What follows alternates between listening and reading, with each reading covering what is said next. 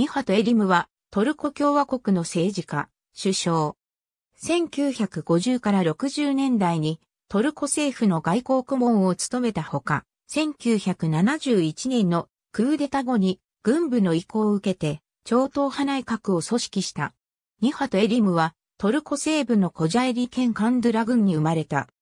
ガラタサライリセ、イスタンブール大学法学部を卒業後、パリの放火専門学校で博士号を取得し、1939年にアンカラ大学法学部准教授、1941年に同学部教授に就任した。1943年からは外務省の法律顧問も務め、サンフランシスコ講和会議にも参加した。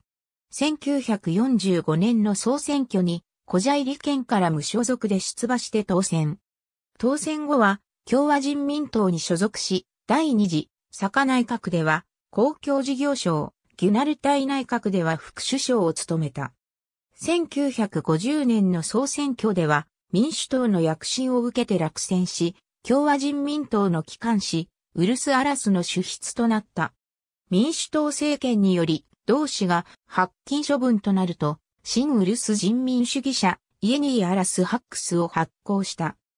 1956年には欧州人権委員会にトルコ代表として出席した。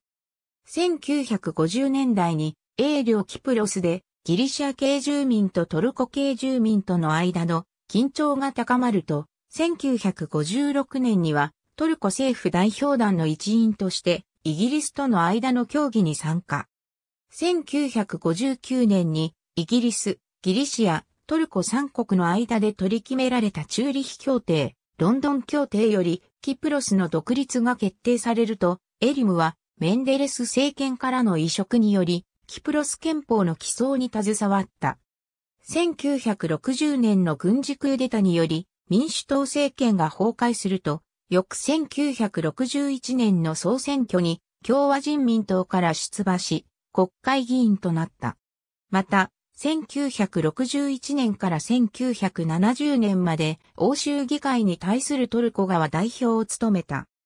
1971年3月12日に軍部の圧力により公正党のデミレル政権が崩壊する書簡クーデタ事件が起きると軍部の意向を受けてエリムは共和人民党を離党し超党派内閣を組織した。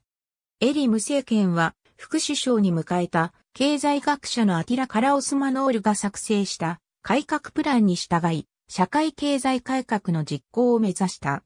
また、同政権では、ジャーナリストのタラト・ハルマンが、新設の文化省の長官に任命されたほか、アメリカから批判されていた、消し栽培が禁止された。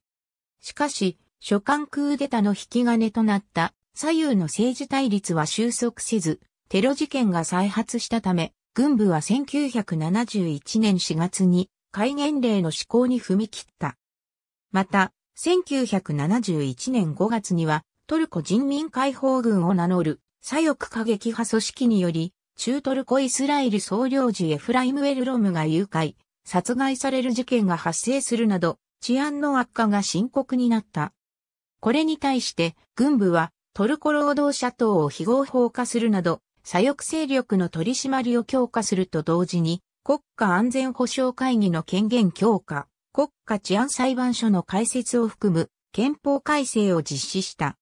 エリム政権では、1971年12月に経済政策をめぐる閣内不一致から改革派の経済閣僚が辞職し、12月3日に内閣は総辞職に追い込まれた。エリムはスナイ大統領により首相に再任されたが、1972年5月22日に健康上の理由から辞任し、公認首相には国防省のフェリト・メレンが任命された。エリムは1977年に上院議員に任命されたが、1980年7月19日に左翼過激派組織によりイスタンブールで暗殺された。ありがとうございます。